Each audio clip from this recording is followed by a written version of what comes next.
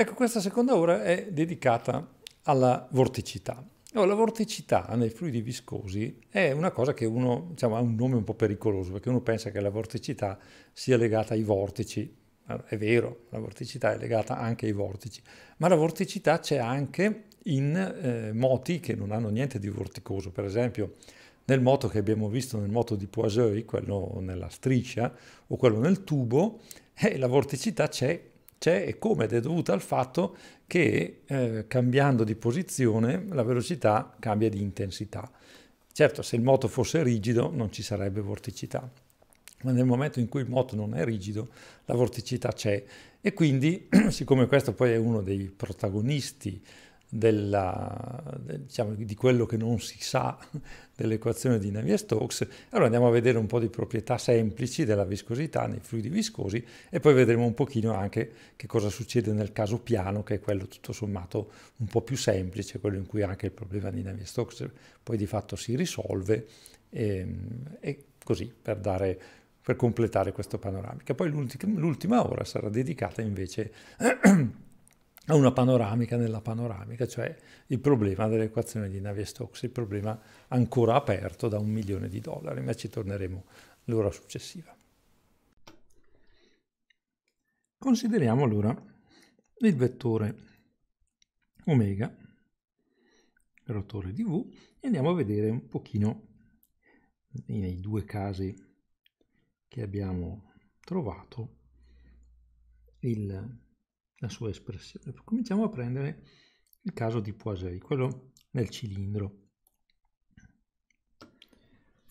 Ok, allora piazziamo eh, l'asse z lungo l'asse del cilindro e la velocità era data da W di ρ per EZ con W di ρ data da, se non ricordo il segno, cifrato 4 nu, comunque R quadro meno ρ quadro. Allora, quanto vale il rotore di V? Il rotore di V, se uno va a prendersi una formula, un formulario delle coordinate cilindriche, viene meno la derivata di W fatta rispetto a ρ per e θ. Questa è la, la vorticità. Quindi la vorticità in questo caso qui è diretta tangenzialmente alle circonferenze che hanno uguale velocità. Quanto vale? Vediamo. Mi vale meno c fratto 2 nu con più c fratto 2 nu per ρ. Di conseguenza, in questo tipo di moto, la, il, la vorticità è eh, massima vicino alle pareti della, del tubo, quindi massima se ρ è uguale a R e minima se ρ è uguale a 0. E la stessa cosa succede nel caso di Poiseuille piano, perché lì se ricordate, vabbè lì erano semplicemente cambiate, è la stessa cosa, eh, perché lì la U era uguale a una costante, mi sembra che anche lì fosse cifrato 4 non mi ricordo, per hz meno z quadro. Ecco, nel caso in cui le velocità siano 0 in questi, in questi due punti, allora anche lì, lì è più facile perché siamo in coordinate cartesiane, il rotore di V c'è soltanto la componente, questa sarebbe du su dz, e quindi è diretta lungo E2. Quindi sarebbe vediamo, controlliamo il segno, E1, E2, E3, dx, dy, dz, u, v, w, quindi dx, w, eccolo infatti c'era meno du su dz per E2, ah no però quello, quello in mezzo mi sa che quindi è col più. Vabbè, adesso di là del segno, vedete che viene c fratto 4 nu per h meno 2z e quindi praticamente il modulo, la, la, la vorticità, il rotore di omega è massimo quando z è uguale a più o meno h, perché quando z è uguale, scusate, quando z è uguale a 0 o h, cioè ai bordi anche in questo caso. Ecco, quindi invece per z uguale 0 viene h, per z uguale a h viene meno h, invece è nulla anche in questo caso al centro. Nel caso del moto di Kuwait, questo è ancora più sorprendente perché uno pensa che il moto di Kuwait, siccome è una cosa che ruota, chissà che, chissà che vorticità ha.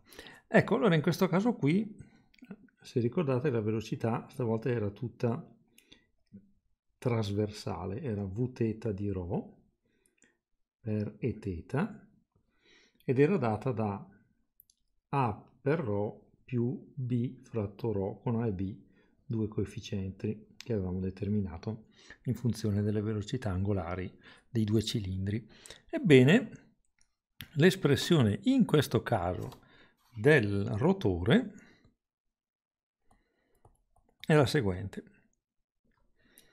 1 su ρ d su d ρ di ρ v θ e questo diretto lungo e z. Che quindi fa, andiamo a fare il conto, se io prendo, questa è la derivata rispetto a rho, di rho v quindi rho v sarebbe a rho al quadrato più b per e z. Allora, se io derivo rispetto a rho, intanto vedo che non dipende da b, per cui mi viene, scusate, qui c'è un 1 su rho che ho dimenticato, quindi 1 su rho per 2a ρ, e quindi viene 2a. Quindi in questo caso particolare il, la vorticità è addirittura costante, costante, anche se uno non se l'aspetterebbe.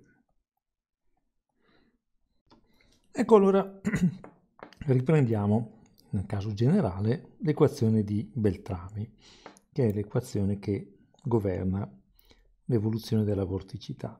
Allora, come dovreste averla vista voi con Sara, dovrebbe essere così. Gradiente di V applicato a omega più 1 fratto 2 ρ rotore di A.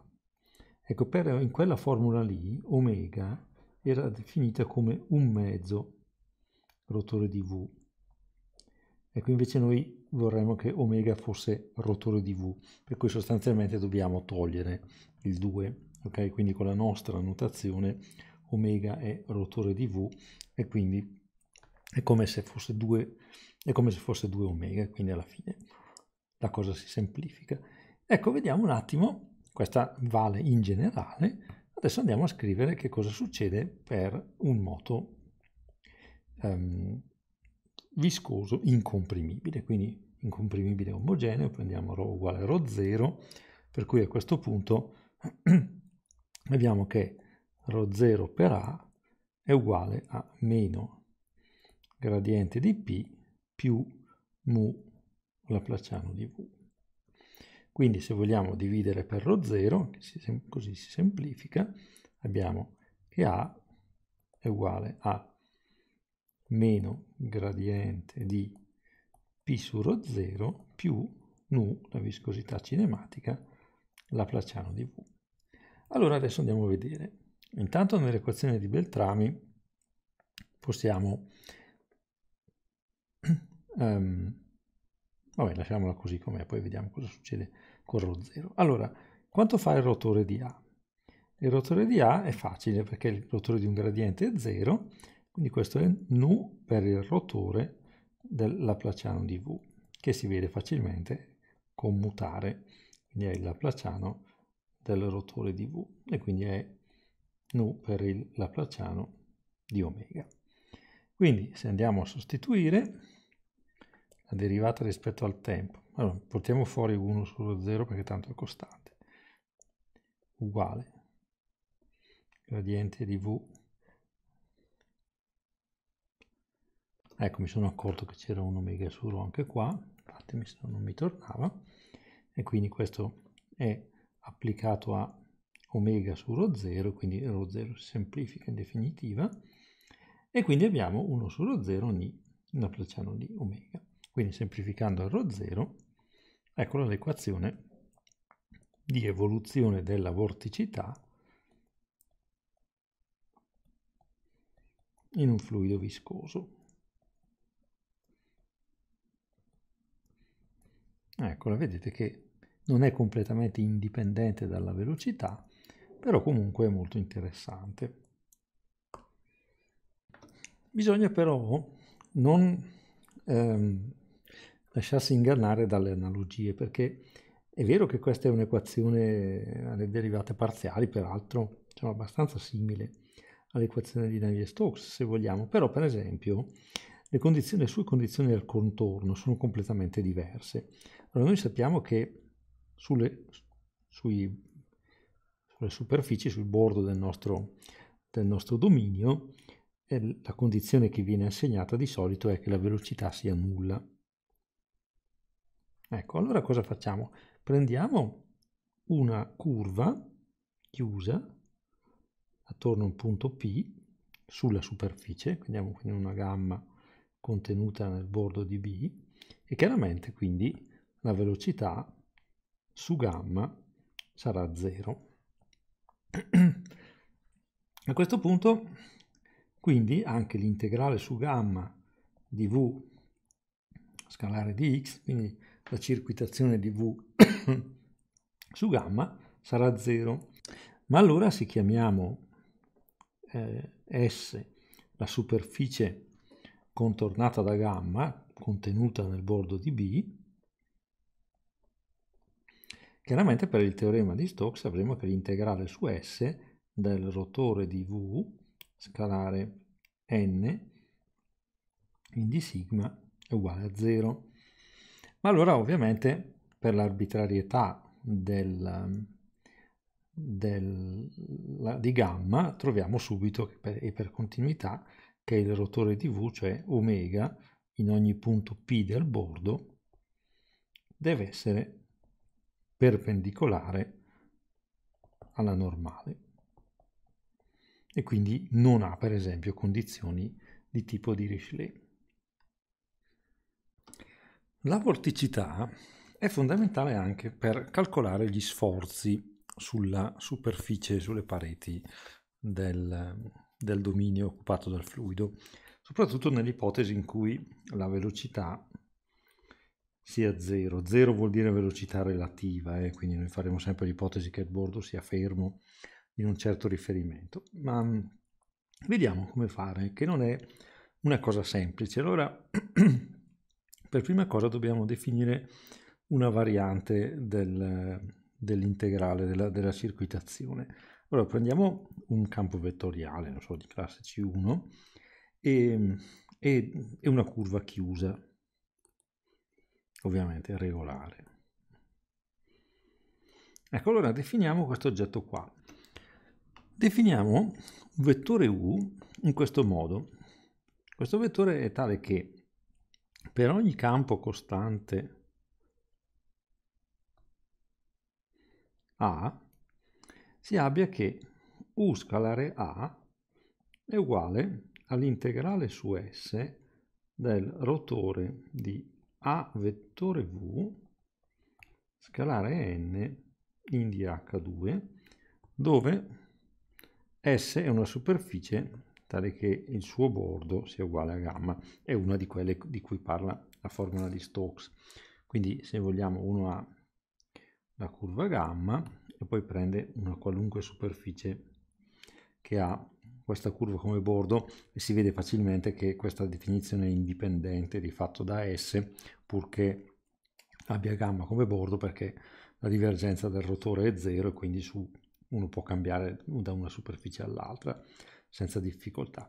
Ecco, questo vettore u, diciamo così, adesso vediamo che cosa dovrebbe essere, perché se io uso la formula di Stokes, quindi questo è il rotore di A vettore V, scalare n in dH2, è per la formula di Stokes l'integrale su gamma di A vettore V scalare, e, scalare dx. Questo, diciamo, usiamo questa notazione per la, per la circuitazione. No? E quindi questo è come dire a scalare l'integrale su gamma, diciamo, scambiando il prodotto scalare per il prodotto vettoriale, di diciamo così, v vettore di x, che è quello che stiamo definendo, no? quindi a scalare u. Ecco, quindi la notazione che si può usare per u è questa qui. Sarebbe l'integrale su gamma di v vettore di x, che è una generalizzazione o se volete una variante della, della circuitazione. Ecco. E allora vediamo un po' che proprietà ha questo oggetto perché è legato al discorso che, che vogliamo fare noi. Allora, sviluppiamo quindi la sua definizione. Che cos'è il rotore di A vettore V? Ecco, per questo serve una delle nostre tante formule. Questo è il gradiente di A applicato a V meno il gradiente di V applicato ad A più A per la divergenza di V meno V per la divergenza di A, che ovviamente siccome A è costante si riduce semplicemente a eh, A divergenza di V meno gradiente di V applicato ad A. Quindi abbiamo, se vogliamo, che l'integrale su gamma di questo v vettore di x, di questa sorta di circuitazione vettoriale, è anche l'integrale su s di divergenza di v meno il gradiente divergenza di vn, scusate, meno il gradiente di v applicato ad A volte scalare n. No, ho sbagliato. È divergenza di V a scalare n. Ecco, meno gradiente di V applicato ad A scalare n in dH2. La quale espressione si può anche scrivere come, vabbè, questo termine, sto indicando in rosso, lo, lo vedo come gradiente di V trasposto applicato a n scalare A e quindi posso portare fuori un A. Quindi questo qui in realtà è un A scalare, ecco. E quindi qui abbiamo un A scalare integrale su S di divergenza di V volte n meno gradiente di V trasposto applicato a n in dH2 e quindi basta, diciamo così, da questa dall'arbitrarietà di A discende che questa quantità è uguale all'integrale su S di, questa, di quest'altra. E voi direte, ma che cosa ci importa di tutta questa pappardella? E la cosa interessante è che per un fluido viscoso questa quantità qua è ovviamente 0 perché V è 0 sul bordo. Quindi se io prendo una, come prima, se io prendo una, una curva sul bordo e poi vado a beccare il pezzo di superficie che contorna questa curva, pezzo di bordo che contorna questa curva, io so che questa quantità qui è uguale a 0. Allora adesso facciamo così. Scriviamo che 0 è uguale all'integrale su S della divergenza di V volte n. Allora qui diciamo dividiamo in due pezzi, un mezzo e un mezzo, il gradiente di V trasposto e sommiamo e sottraiamo il gradiente di V applicato a n diviso 2. Quindi abbiamo meno un mezzo gradiente di V trasposto, quindi poi dobbiamo togliere un mezzo gradiente di Vn che abbiamo aggiunto e poi dobbiamo rimettere il gradiente di V trasposto che ci mancava. Ecco. E questa quantità, miracolosamente,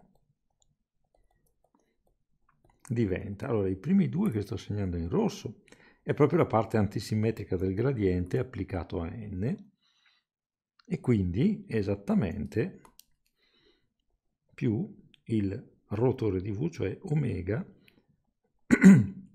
vettore n delle proprietà della parte antisimmetrica. E l'altro è proprio la parte simmetrica del gradiente di V applicato a n, quindi questo è d applicato a n. in DH2. Ma allora, adesso consideriamo l'espressione del tensore degli sforzi. Lo facciamo nel caso di un fluido anche comprimibile. Sappiamo che questa è meno P per I più lambda traccia di D per l'identità più 2 mu per D. E quindi ne segue che il T piccolo, che sarebbe T applicato a N, sarà meno P per N, che è quello che c'è anche nei fluidi perfetti. Poi c'è più lambda divergenza di V per N, e poi c'è più 2 mu D applicato a N. E adesso arriva il miracolo, vedete? Se io faccio... Um, ah, ecco, poi dimenticavo. Adesso se questa cosa qua è uguale a 0 per ogni S, tale che il bordo di S è uguale a gamma e quindi a questo punto localizzandoci, se io prendo la gamma sempre più piccola centrata intorno a un punto P, da questa quantità discende che l'integrando deve essere 0. Eh? Quindi diciamo così, passando da qui, localizzando, uno scopre che d applicato a n è uguale a divergenza di v applicato a n più omega vettore n. Questo ovviamente per ogni p appartenente al bordo di B, okay? perché noi siamo sul bordo di B. Perfetto. E quindi adesso, quindi, adesso è facile perché vedete che t piccolo quindi è uguale a meno p n, poi c'è più, allora dobbiamo raccogliere un, eh, eh, andiamo a sostituire al posto di dn, per cui abbiamo lambda divergenza di v per n, che già sappiamo, poi abbiamo più 2 mu divergenza di v per n più 2 mu omega vettore n. E quindi alla fine viene meno pn più lambda più 2 mu divergenza di v n e poi viene più 2 mu omega vettore n, che è proprio la formula che ci dà gli sforzi in un fluido viscoso, eventualmente anche comprimibile. Ecco, se poi la divergenza di V è 0, come nel caso dei fluidi incomprimibili, vedete che la formula diventa ancora più specifica, cioè c'è una parte che è dovuta alla pressione ed è quella che c'è anche nei fluidi perfetti e poi c'è la parte che è unicamente dovuta alla vorticità. E fa capire ancora di più come sia il, quale sia grande il ruolo che gioca la vorticità nei, nei fluidi viscosi. Quindi per esempio nel caso del, del moto di Poiseuille, quello del tubo, avevamo visto che la vorticità era tutta tangenziale, no? quindi la disegniamo così in nero, e questa è la omega, poi la n ovviamente è normale e quindi questo dimostra che il, lo sforzo viscoso in questo caso in viola è diretto in questa direzione qua, a parte la pressione, questo quindi è lo sforzo viscoso, non, solo, non quello dovuto alla pressione. Ecco, nel caso di Couette invece, qui avevamo i due cilindri coassiali, avevamo visto che la vorticità era diretta l'asse, lungo l'asse z, quindi in questo caso la omega qui era diretta in questa direzione e siccome la normale è ovviamente questa, in questo caso qui gli sforzi sono tangenziali, gli sforzi viscosi sono tangenziali. E dopo ovviamente c'è la pressione che è essenzialmente dovuta alla forza centrifuga. Prima di passare ai, casi particolari, ai fluidi piani e moti piani, notiamo ancora una relazione. C'è una relazione tra la dissipazione quindi 2 mu d scalare d e la vorticità, cioè in questo caso il modulo della vorticità. Prendiamo allora l'espressione dell'accelerazione, quindi dv su dt più gradiente di v applicato a v e proviamo a farne la divergenza. Quindi la divergenza di A è uguale a tanto derivata rispetto al tempo della divergenza di V, questo va al volo, e adesso c'è la divergenza di gradiente di V applicato a V. Come al solito abbiamo usato tante volte che la divergenza di t trasposto u è uguale alla divergenza di t scalare u più t scalare gradiente di u e quindi la usiamo anche qui. Quindi abbiamo un d su dt della divergenza di v. Questa è una formula che vale sempre, non solo per i fluidi, è una formula di cinematica. Quindi abbiamo la divergenza del gradiente di v trasposto, scalare v, perché dobbiamo trasporre tutto, poi più gradiente di v trasposto, scalare gradiente di v. Ecco, allora adesso andiamo a vedere. Ci ricordiamo dalle formule di analisi vettoriale che la divergenza di v trasposto è il gradiente della divergenza di v. Quindi questo termine qui è v scalare il gradiente della divergenza di v. E quindi assieme a questo è dà esattamente la derivata totale della divergenza di V. Quindi adesso ci resta il secondo pezzo, quello in verde. Per il secondo pezzo facciamo così, lo andiamo a scrivere. Gradiente di V trasposto scalare gradiente di V, lo scriviamo, aggiungiamo e togliamo il gradiente di V. Quindi facciamo gradiente di V trasposto più gradiente di v, scalare gradiente di v, meno gradiente di v, scalare gradiente di v. Ecco, abbiamo aggiunto e tolto un termine. Questo è chiaramente due volte d, quindi abbiamo due volte d scalare gradiente di v. E qua invece abbiamo, possiamo decomporre gradiente di v in d più omega quindi prodotto scalare d più omega.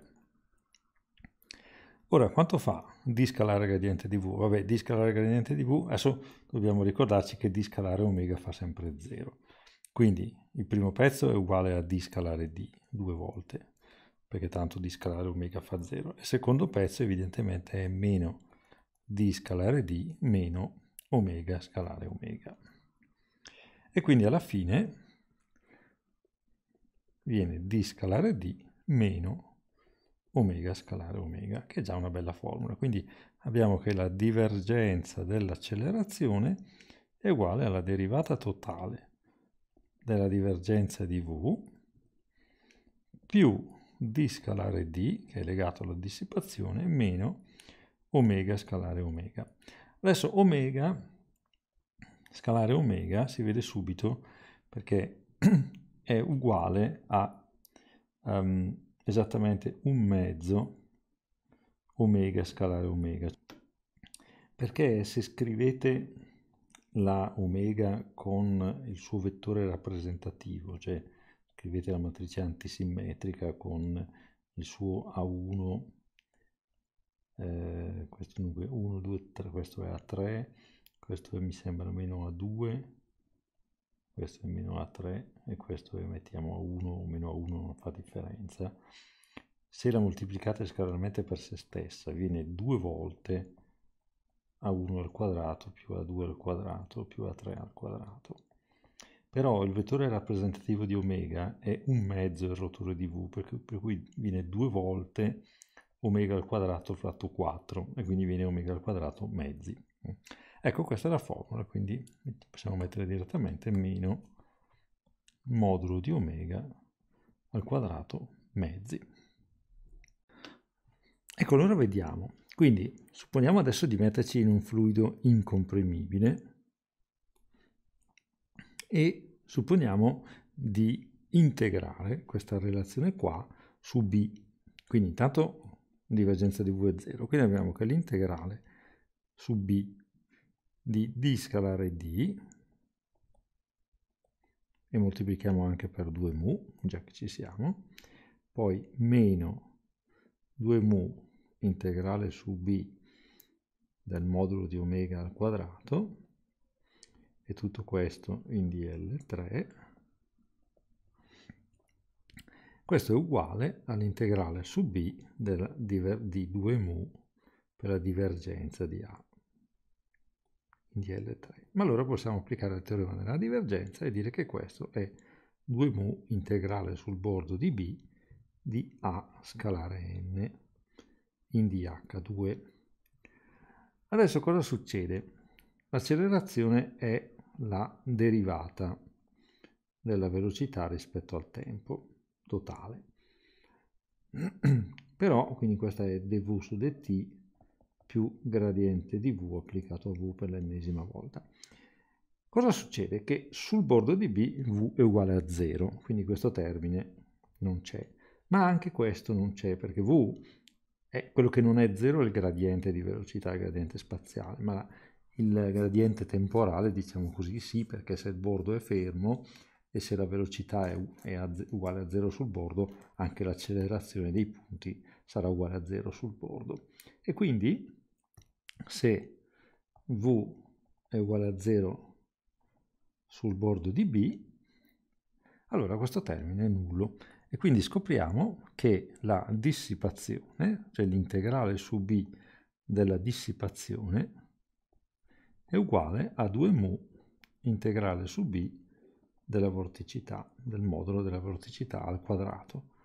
Ecco che fa capire ancora, di, ancora meglio che è la dissipazione la responsabile dell'esistenza della vorticità.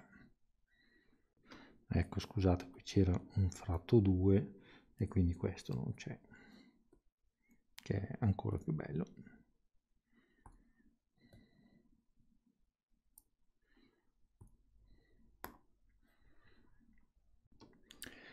Ecco, notiamo, così prima di passare al caso piano, che se io faccio come sottoprodotto di quello che abbiamo appena visto, il gradiente di V scalare gradiente di V integ ehm, integrato su B, questo è quindi d scalare d più omega scalare omega, chiaramente per la decomposizione, in dl3, e quindi questo è l'integrale su b di d scalare d più un mezzo integrale di omega al quadrato, tutti e due in dl3. Ecco però, abbiamo visto poco fa che se v è uguale a 0 al bordo, allora d scalare d è anche uguale, l'integrale di d scalare d è anche uguale all'integrale di omega al quadrato mezzi. Ecco.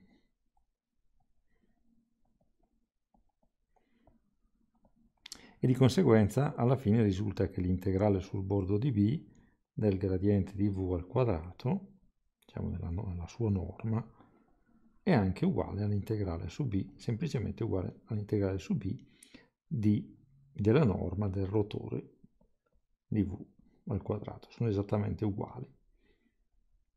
E questo ci tornerà utile quando parleremo nella lezione prossima delle equazioni di Navier-Stokes. Adesso rapidamente andiamo a vedere il caso piano. Nel caso piano, l'equazione di Beltrami, nel nostro caso, si scrive si scrive d omega su dt uguale gradiente di v applicato a omega più nu laplaciano di omega, come abbiamo visto prima. E questo in generale. Cosa succede nel caso piano? Nel caso piano succede che omega è tutto diretto lungo E3. E quindi, mentre invece V è tutto diretto nel piano, quindi è V1 più V2. Ecco, ne segue, come avete visto, che il gradiente di v è fatto soltanto da questi termini qua, perché u e v dipendono solo da x, e quindi qui ci sono tutti i zeri. E quindi quando fate il gradiente lo applicate a omega, viene 0. Quindi questo termine qui è uguale a 0. Quindi l'equazione di Beltrame diventa di omega su dt uguale nu laplaciano di omega, che è abbastanza simile all'equazione del calore. Volendo semplificare questo, questo tipo di, di equazione, che non è proprio come l'equazione del calore, si possono considerare delle traiettorie di tipo circolare, dove la, la velocità, il modulo della velocità, è una funzione soltanto della distanza ρ dall'asse e quindi diciamo così è tutta tangenziale. Diciamo che v è uguale a eh, v θ di ρ e ρ. Ecco. Avevamo già calcolato, in questo caso il rotore, che risultava essere 1 su r, 1 su ρ, scusate, d su di ρ di ρ v θ, abbiamo fatto nel caso di Couette, ed è diretto lungo EZ. Quindi cosa vuol dire? Eh, qui bisogna avere un po' di pazienza, bisogna andare a farsi, perché questo termine qua è derivata di omega rispetto al tempo, più purtroppo c'è il gradiente di omega applicato a v. Allora bisogna andare a prendersi il gradiente in, in coordinate cilindriche e accorgersi che sostanzialmente, diciamo, tutta la matrice è nulla, il gradiente di omega, salvo questo pezzo qua questo pezzo qua che è quello che ha la derivata di um, omega z fatta rispetto a ρ. Sì, perché evidentemente il rotore di v, cioè omega, è una funzione soltanto di ρ ed è diretta come EZ. Ecco. Gli altri sono tutti 0, bisogna prendersi un manuale, andare a vedere. L'avevamo fatto in meccanica razionale, per la verità, però non l'avevamo dimostrato, c'è nelle dispense. Invece per quanto riguarda la velocità è facile perché c'è 0 e poi c'è vθ e poi c'è 0. Basta e quindi questo è sufficiente per dire che quel termine lì è tutto nullo. Di conseguenza in questo tipo di moti, che sono delle, diciamo, moti circolari con velocità angolari diverse ovviamente, verifica l'equazione del calore, quindi d omega su dt uguale a nu laplaciano di omega, che scritto in coordinate cilindriche diventa la derivata seconda di omega fatta rispetto a ρ due volte più 1 su ρ derivata di omega fatta rispetto a rho.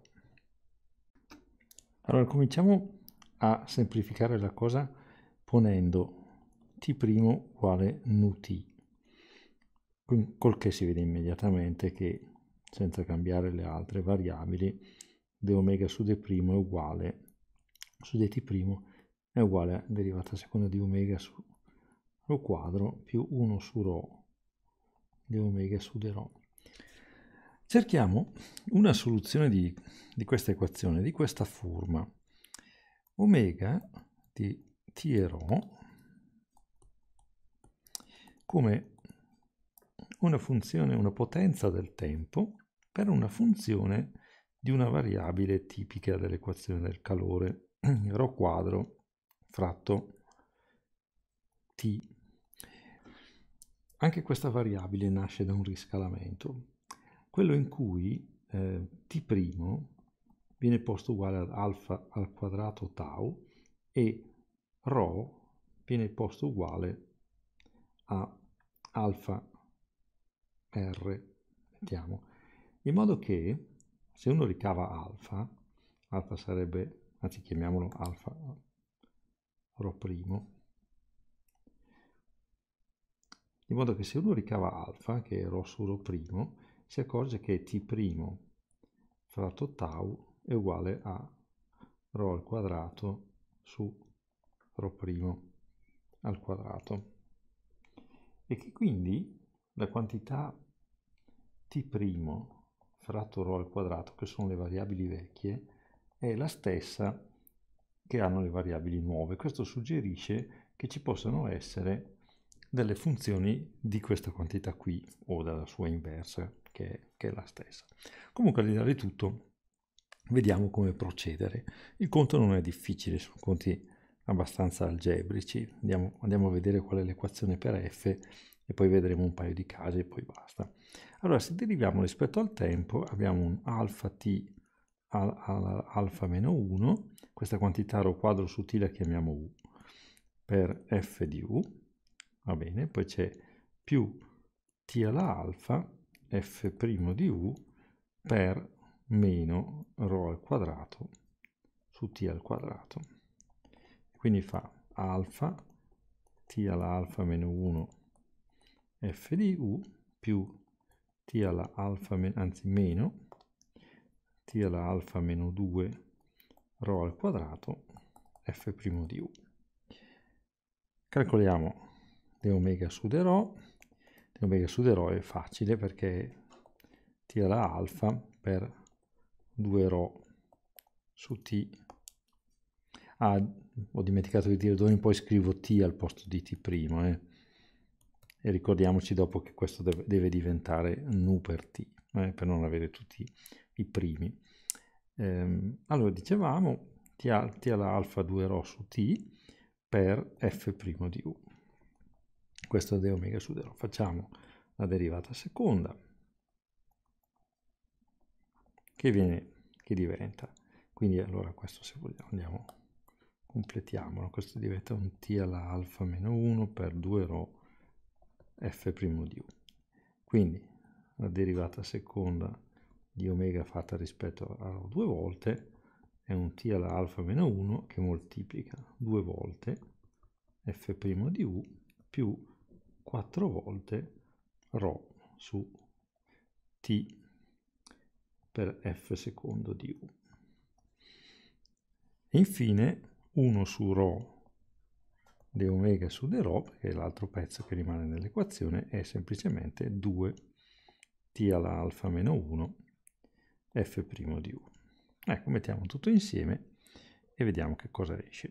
Quindi alfa t alla alfa meno 1 f di u più t alla alfa, anzi meno t alla alfa meno 2, che scriviamo in questo modo, t alla alfa meno 1 per ρ quadro su t per f' di u. E questo deve essere uguale alla derivata seconda, quindi t alfa meno 1 che moltiplica 2f' di u più 4 ρ, qui c'era un ρ al quadrato che ho dimenticato, eh? esatto, perché quando si deriva il ρ va via, quando esce l'altro diventa ρ al quadrato, su t, per f secondo di u. E infine l'ultimo termine, quindi più 2 t alla alfa meno 1 f' di u. Allora, come vedete, t alla alfa meno 1 si semplifica dappertutto e quindi adesso la cosa interessante è che nell'equazione si evidenzia proprio la variabile u. È proprio questo il fatto che rende particolare questa variabile per questo tipo di equazione. Quindi adesso andiamo a riscrivere. Abbiamo quindi 4u f secondo di u, poi abbiamo questi due termini in blu che, sono, che danno un 4 f' di u uguale a meno u f' di u più alfa f di u. E quindi andiamo a scrivere l'equazione finale, 4u f secondo di u più u più 4 f' di u meno alfa f uguale a 0. Ecco, adesso diciamo si possono trovare delle soluzioni esatte dell'equazione di partenza, dell'equazione per la vorticità, se siamo in grado di risolvere questo tipo di problema. E, ehm, allora si vede subito che questa cosa qua non ammette per soluzione un polinomio, perché quando si, si deriva il, il, polinomio questo si abbassa di grado e questo u più 4 non permette di recuperare lo stesso tipo di, di potenza e quindi in generale un polinomio non è soluzione di questa equazione. Allora, diciamo, bisogna sapere dove andare a parare, facciamo una, eh, un tentativo e mettiamo una funzione del tipo e alla beta u, ecco, con beta appartenente a R e andiamo a vedere che questa è giusta. Del resto quando si ha l'equazione del calore uno si aspetta soluzioni di tipo esponenziale. Allora, conto è molto facile, f' di u è beta e alla beta u e f secondo di u è beta al quadrato e alla beta u. Quindi andiamo a vedere che cosa succede. Abbiamo 4u beta al quadrato e alla beta u più u più 4 per f', quindi beta e alla beta u meno alfa e alla beta u. L'equazione è comunque lineare anche se ha coefficienti non costanti, quindi andiamo a vedere se con questa scelta siamo in grado di soddisfare l'equazione. Allora abbiamo, possiamo vedete raccogliere, possiamo scrivere u che moltiplica 4 beta al quadrato più beta e poi ci resta più 4 beta meno alfa uguale a 0.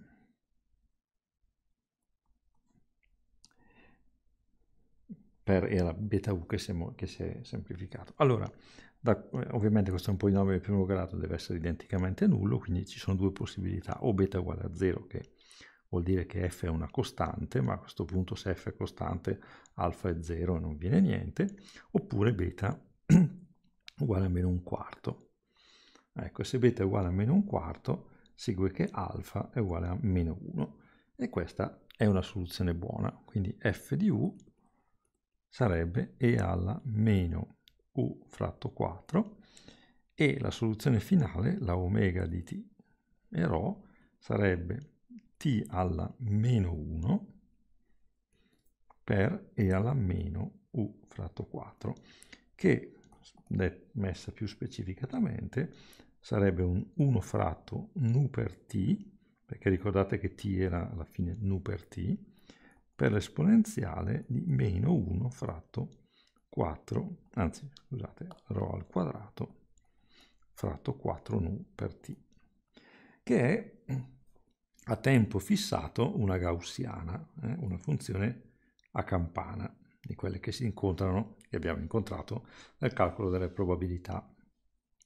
Ed è interessante perché questa funzione qua poi, allora l'equazione è ovviamente um, omogenea, quindi se un omega è soluzione è anche costante per omega è soluzione, quindi uno può per esempio richiedere che, non so, per esempio che l'integrale di questa funzione faccia 1, insomma ci sono vari modi di dare una normalizzazione di questa equazione. La cosa interessante di questa equazione è che eh, diciamo, tende a una delta di Dirac nel tempo, ehm, scusate, in, in ρ, se t tende a 0, cioè tende a essere una, un picco di vorticità sempre più, sempre più appuntito al tendere di t a 0. L'unico difetto di, questo, di questa soluzione è la velocità. Vediamo infatti di trovare la, il modulo della velocità che era dato da 1 su ρ d su d rho di rho q uguale a omega. Quindi in questo caso qui vedete che d su d rho di rho per q, q sarebbe v quadro, è uguale a rho fratto nu per t esponenziale di meno rho quadrato fratto 4 nu t. E questo si può integrare abbastanza bene perché vedete che qui c'è proprio fuori la derivata per cui questo diventa un meno cioè diciamo così abbiamo un integrale del tipo integrale fra 0 e rho di xi fratto nu per t esponenziale di meno xi al quadrato fratto 4 nu t a t fissato in dxi e questa cosa qui è una cosa del tipo sarebbe meno l'esponenziale di xi al quadrato fratto 4 nu-t e probabilmente c'è da mettere un 2 o qualcosa del genere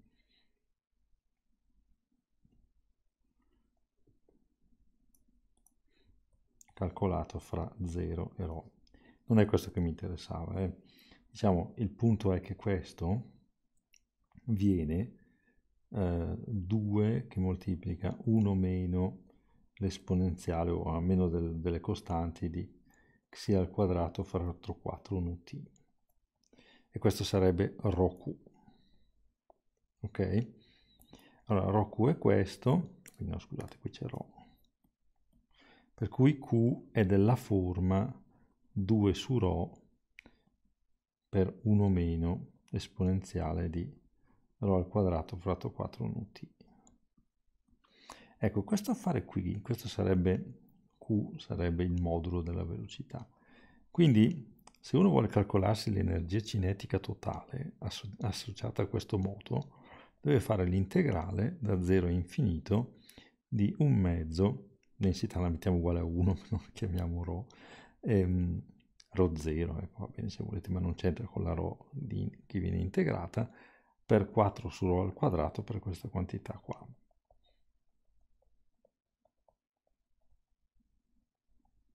Ecco, e eh, questo in R poi va moltiplicato tra 0 e 2π e va integrata in ρ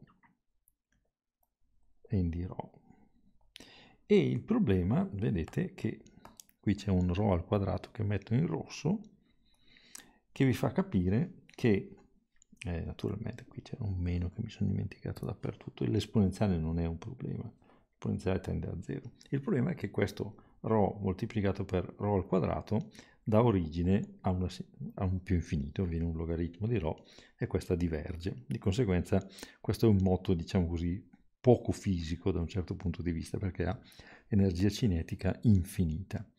Un'altra soluzione di questa equazione qui, invece, che si può fare con un pochino di conti, che non faremo, ecco invece questa prendiamocela va.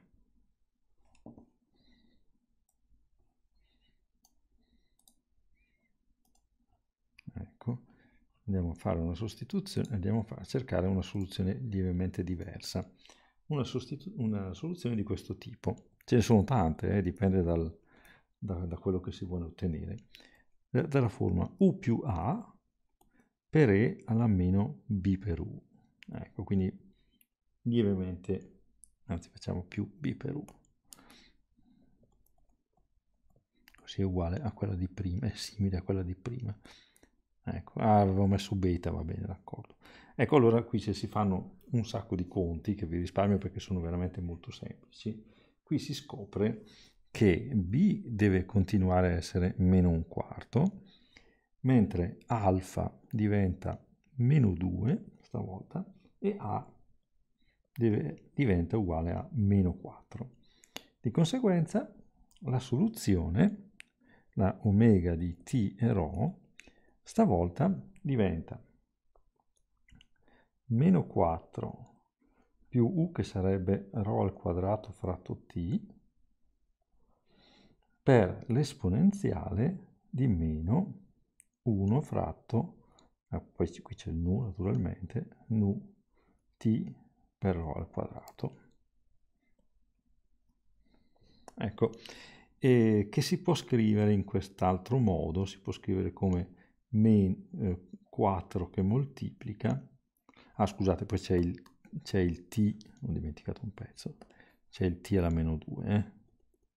quindi 1 fratto t alla seconda perché viene da questo, alfa uguale a meno 2, c'era un t alla alfa. Quindi questo si può scrivere come 4 su, e poi ci vuole anche il nu. allora questo è omega di t rho uguale 1 fratto nu al quadrato t al quadrato, ecco, e quindi viene un 4 fratto nu quadro t quadro per rho al quadrato su 4 nu t meno 1, vedete che è sempre la stessa variabile che esce e alla meno ρ al quadrato fratto 4 nu t. Ecco, con un po' di pazienza si può vedere che questa equazione qua, allora fissato t, fissato t maggiore di 0, e qui la vorticità non è sempre decrescente come, si, come veniva prima, qui non viene, non viene una gaussiana, viene una cosa più complicata, nel senso che questa cosa qui, eh, quando ρ è uguale a 0, parte negativa, dopodiché sale, ammette un massimo e poi tende a 0, eh, e quindi è, è un po' più ehm, è un po' meno singolare dell'altra, anche se comunque questa al tendere di, di t a 0 qualche comportamento particolare ce l'ha. Eh. E diciamo, andando a farsi tutti i conti di prima che ci risparmiamo, perché adesso diventa un po' più difficile integrare questa qua in row, però il procedimento è sempre lo stesso, basta prendere eh, uh, 1 su rho dei su de rho di rho q uguale a omega e si, trovano, e si trova la, la, la, la velocità. A conti fatti la velocità risulta essere proporzionale, adesso non so se sono giusti i coefficienti, ρ su 4 nu t al quadrato e alla meno ρ al quadrato su 4 nu t. Ecco, e vedete che in questo caso si vede subito che se io vado a fare l'integrale di ρ0 q al quadrato in, in dA, in dH2 su tutto il piano, ok, su tutto R2, questo è finito.